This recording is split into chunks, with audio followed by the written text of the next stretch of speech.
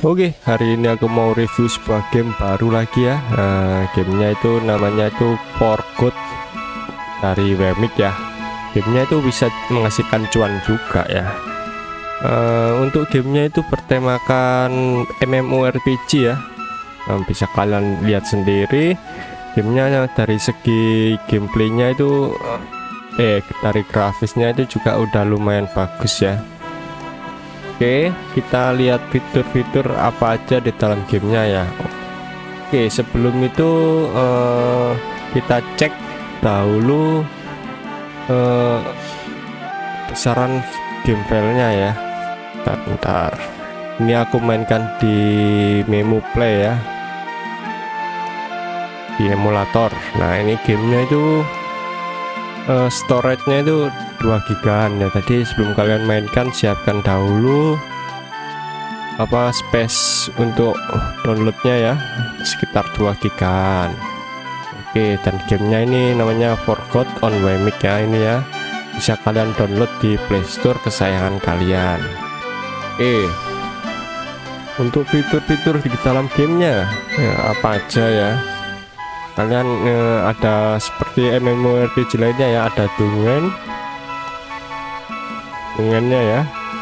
Terus untuk cara menukarkan uang di dalam gamenya gimana? Ada exchange ini exchange nya ini terbuka di level 50 ya uh, level 50 oke. Okay. ada sistem guild misi manage zero. Ini guild kalian bisa join guildku ini namanya Azure.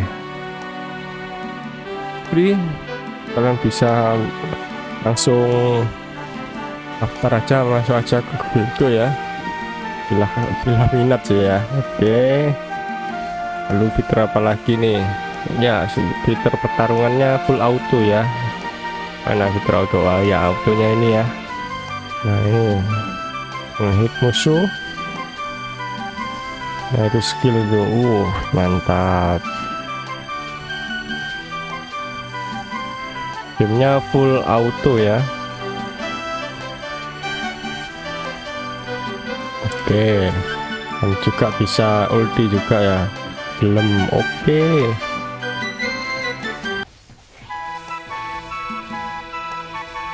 Oke oke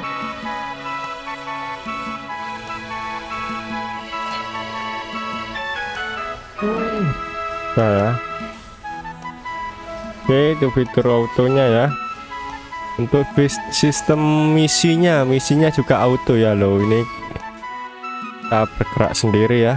Uh, fitur quest quest dan misinya auto. Oke. Kita berhenti dulu. Ya sistemnya juga menggunakan mon ya kuda ini ya atau tunggangan ya. Untuk apa lagi ya? Oh, kita review apa lagi ini? Hmm, hero? Select hero.